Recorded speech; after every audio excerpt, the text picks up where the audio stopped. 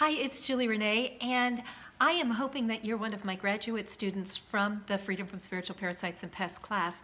We've taken hundreds of people through that class, and what I've discovered is a whole heck of a lot more about anchors and aliens and um, why things get in and why things get hooked into us and why it's more difficult on, on some occasions to get rid of them. So we're going to be going through step by step what the alien is, what the what the type is, what the anchor is, uh, the, the technique to remove the alien, the technique to remove the anchor. Uh, we're going to be doing some clearing work, but it's really the advanced training. It's where you get to ask the questions.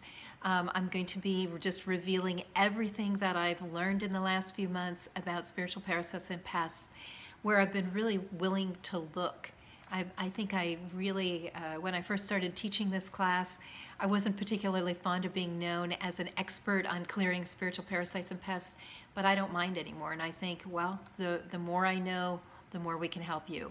So please join me in the advanced program. I think you're really going to love it. It's going to give you some new tools and a lot of good, solid information on what is actually going on, why are these bugaboos there, and how to clear them permanently. All right, see you in class. Love you.